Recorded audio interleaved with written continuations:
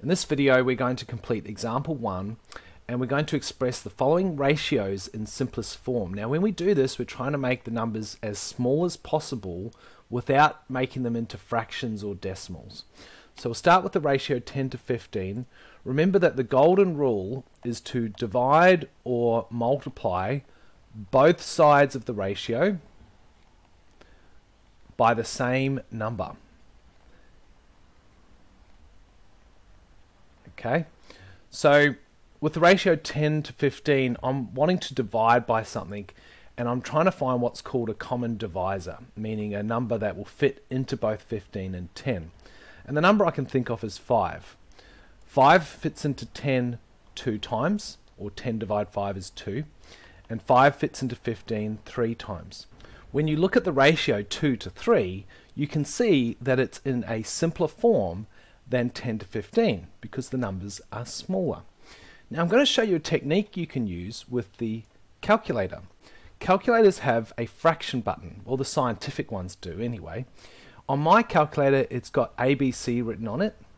Some calculators have an actual picture of what looks like a fraction.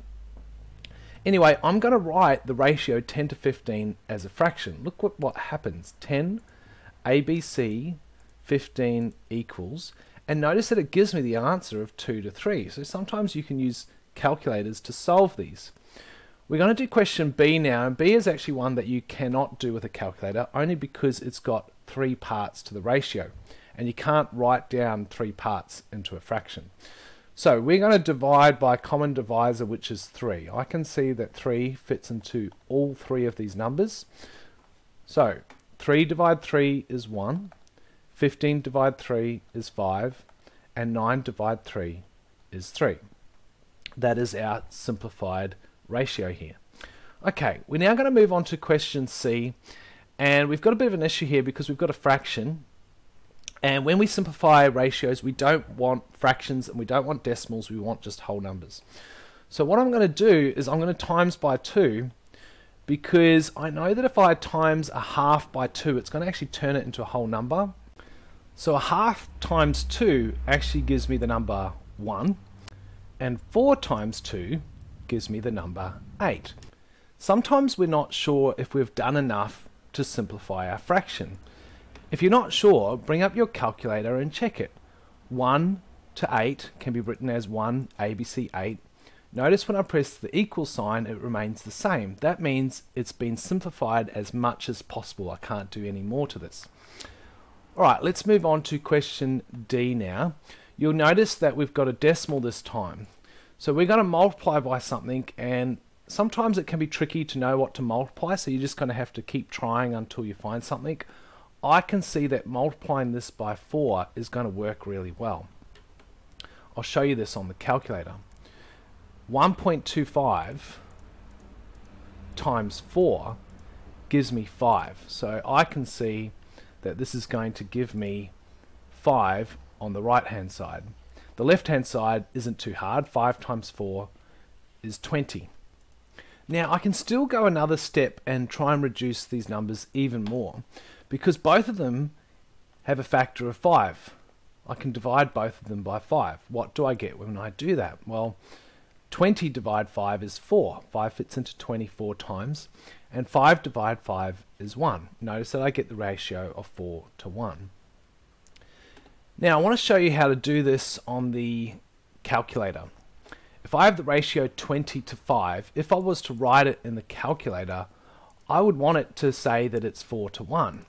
But it's not actually going to do that in this situation. It's just going to give me an answer of 4. And this happens when the first number is bigger than the second. Notice that the 20 is bigger than the 5. Okay, so to get around this, what you do instead is you reverse it. So instead of going 20 to 5, we're going to go 5 ABC 20, which gives me 1 to 4, and then I switch this around and go, all right, the answer must be 4 to 1. So this is something you do only when the first number is bigger than the second. Anyway, let's move on to some more examples. Moving on to part E. You'll notice that both of them are a fraction. And if you want help knowing what to multiply them by, look at the denominators. we have a denominator of 7 and we have a denominator of 3. Let's take both those numbers, 3 and 7, and multiply them together to get 21. We're actually going to multiply both sides by 21 and we'll see what happens. So let's bring up our calculator and we'll start with 2 thirds times 21, so 2 ABC3 times 21 will give us 14, which is what we wanted, a nice whole number on the left hand side. And then on the right hand side, we have the fraction 4 over 7 for ABC7. Oops, didn't work. For ABC7 times 21. And we get 12. So we get the ratio 14 to 12. Remembering we want to check if we can still simplify this further, and we can. We can divide by 2 on both sides, which is the same as halving. Half of 14 is 7, and half of 12 is 6. Let's just double check with the calculator that that's what you get. Now remember, if you've got a bigger number than a smaller number, we can't go 14 ABC 12. Otherwise it'll give us three different numbers, which we don't want. We have to do it in the reverse order. We have to go 12 ABC 14. Notice that we get 6 to 7, which when reversed is 7 to 6. Okay, moving on to question F. This time we have dollar amounts. We've got $2.50 and $3.25. When you do questions like this, the first thing you want to do is actually just get rid of the dollar sign. So you want to change it to 2.50 dot dot 3.25. And quite often these can be solved on the calculator just as they are using the fraction button. So I'm going to go 2.50, I don't really need the O at the end, ABC 3.25 equals, and notice it gives me the answer 10 to 13. So that one's quite easy to do just with the calculator. Uh, if you're not sure how to work this out, I'm looking at this, I reckon I could have times both sides by 4 in this particular case. And let's look at that, 2.50 times 4 is 10. So we can see that that gives us our 10 here. And I reckon 3.25 times 4 is going to give me my 13. There you go. But that's nice when the calculator does it all for you. Okay, moving on to question G. Once again, we've got to get rid of the units. We've got to get rid of the grams and kilograms. But we're faced with a bit of a problem. And the problem we're faced with is that they are in different units. Now, before you take the units off, they need to be the same. So what I'm going to do is I'm going to look at this and go, well, 1.25 kilograms is 1,250 grams. So I'm going to rewrite this so that they are both in the same units. Once they are in the same units, you can then just take the units off. Let's just work this out on the calculator. 500 ABC 1250 equals, and we get the ratio 2 to 5. Nice. Alright, now let's move on to question H. And this time you'll notice they've got some pronumerals in it.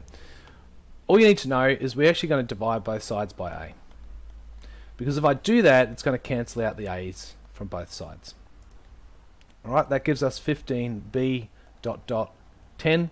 You notice that we don't have a b on both sides. If that happens, it means you really can't do anything with the b. It's just going to have to stay in there. And the next thing we want to do is we want to simplify the numbers 15 and 10. Now I'll show you on a calculator we can do that quite easily. Remembering we can't go 15 ABC 10 because that gives us the three numbers so we're going to have to reverse it. We're going to have to go 10 ABC 15 which gives me 2 to 3 which I need to switch over so it's 3 to 2.